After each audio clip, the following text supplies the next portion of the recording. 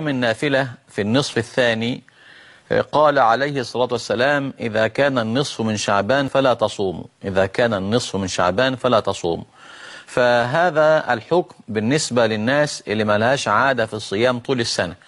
في ناس كده من أول جمادة أو من أول رجب بيقولوا رمضان جرب أما نصومه كده اثنين وخميس نعودوا نفسنا على الصيام. الناس اللي هي بدأت تصوم من جمادة دهيت أو من رجب ديت إذا كان النصف من شعبان فلا تصوموا بعد 15 شعبان خلاص تريح عشان تاخدوا الأسبوعين اللي فاضلين كده نقاهة واستجمام كده واستعداد للدخول على رمضان كده بنشاط وحيوية وقوة إن شاء الله تعالى.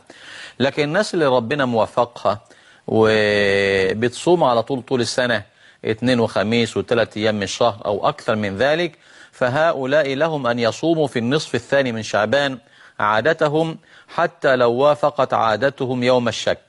وذلك لقول النبي عليه الصلاة والسلام لا تقدموا رمضان بصوم يوم أو يومين إلا رجل كان يصوم صوما فليصوم فالجمع بين قوله إذا كان النصف من شعبان فلا تصوموا وبين هذا الحديث هو ما ذكرناه أن من كانت له عادة طول السنة فهذا يصوم عادته حتى لو وافقت يوم الشك.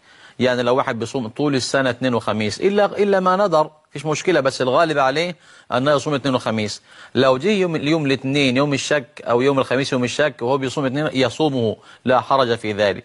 أما الناس اللي هي ملهاش عادة طول السنة إنما يعني زي كما قلت من أول جمادة كده من أول رجب يصوموا هؤلاء إن شاء الله ينتهون عن الصيام بعد النصف الأول من شعبان.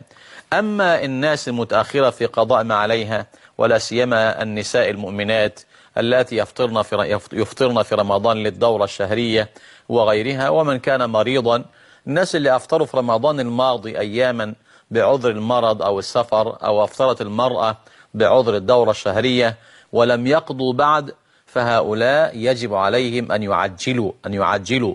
يصوموا في النصف الثاني مش مشكلة أن هذا صيام فريضة مش صيام تطوع الذي ذكرناه في صيام التطوع.